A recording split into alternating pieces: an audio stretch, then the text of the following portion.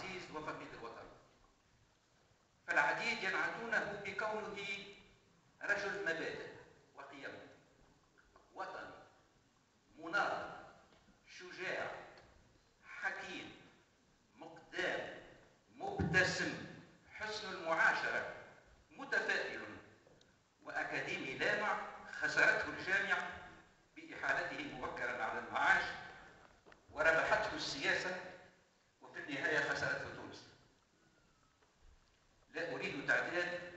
لإيصال الفقيد الرحمي وتكرار ما قيل في عديد المقالات والتدوينات في شبكات التواصل الاجتماعي هذه الأيام.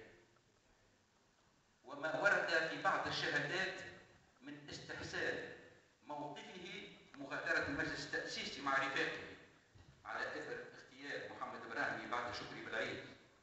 فاتحا بذلك اعتصام الرحيل ومناضلا فيه إلى الآخر.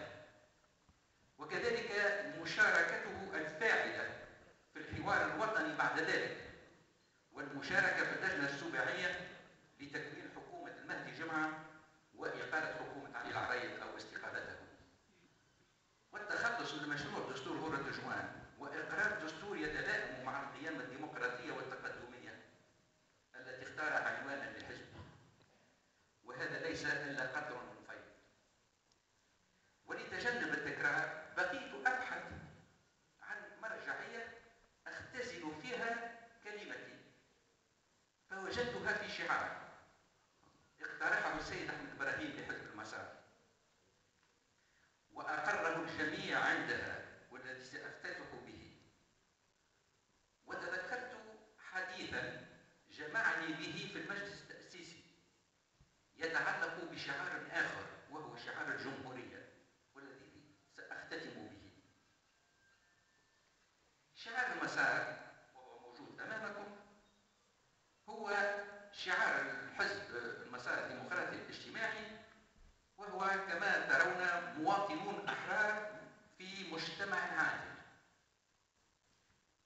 شعار يلخص شخصية الرجل وهو الذي اقترحه.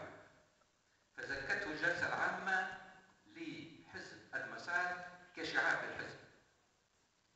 يختزل مبادئ المواطنة والحقوق والحريات على اختلافها.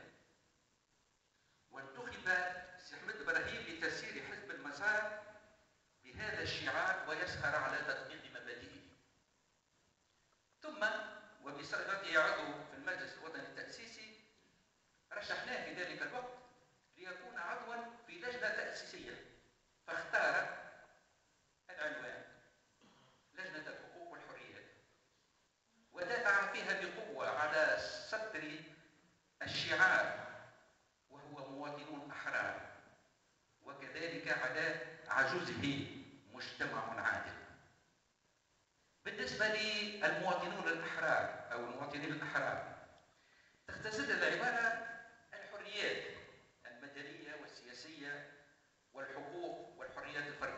مجالسة واستبسل الرجل.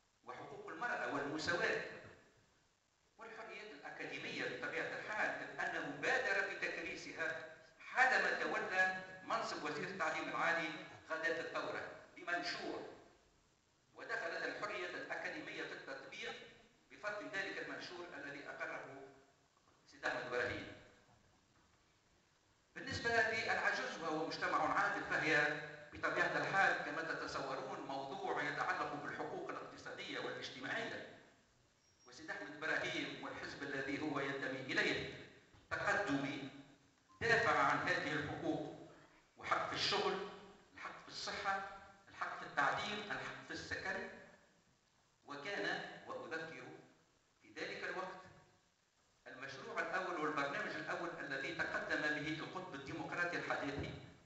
كان فيه الذي رجعنا إليه اليوم عقد الكرامة وهو مبني على الحقوق الاجتماعية والاقتصادية والاجتماعية الأربعة الأساسية. من بينها الحق في السكن والحق في الشغل والحق في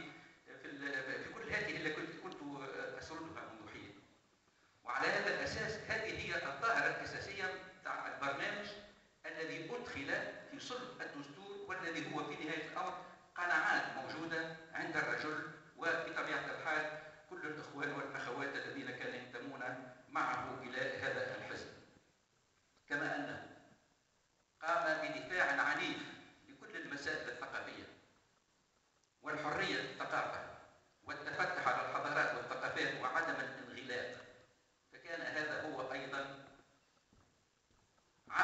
تالي مهم قام به داخل هذه اللجنة لجنة الحقوق والحريات. وكذلك داخل الجلسة العامة عندما دخل الأمر إلى طور المناقشات والموافقات. الموضوع الثاني هو شعار الجمهورية. لم يقف اهتمام سيد أحمد إبراهيم بباب الحقوق والحريات بل توجه أيضا إلى التوطئة في مناسبتين ترك فيهما بصمته في النقاشات وكان له دورا مؤثرا.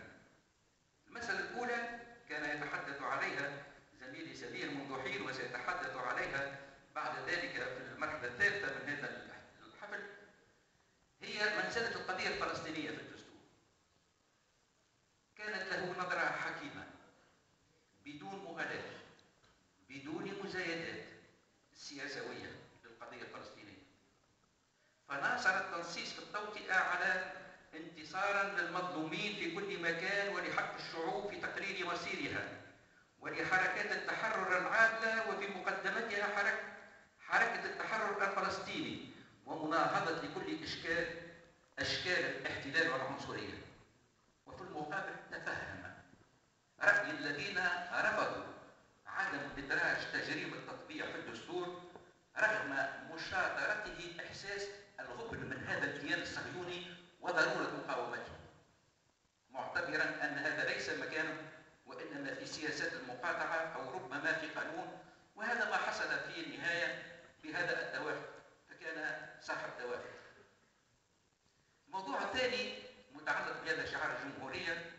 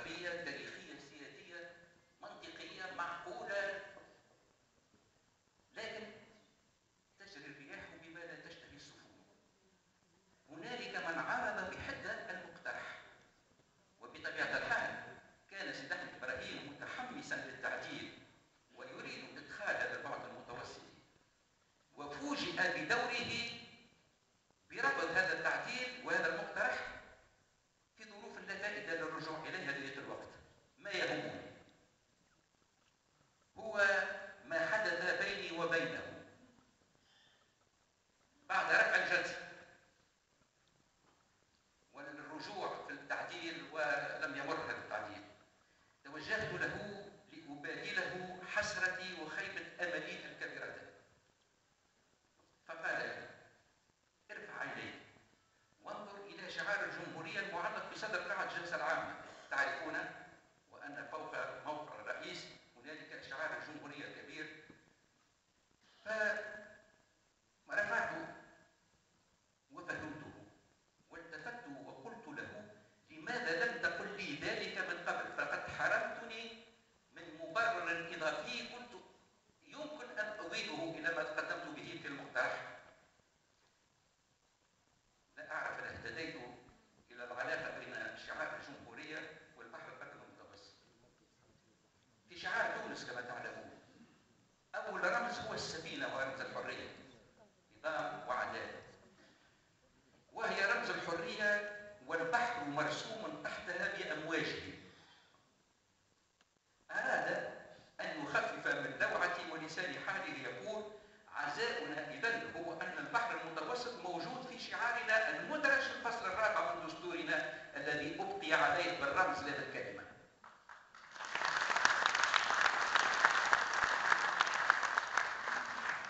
وكأن سيد أحمد إبراهيم ينفخ في شراع سفينة الحرية.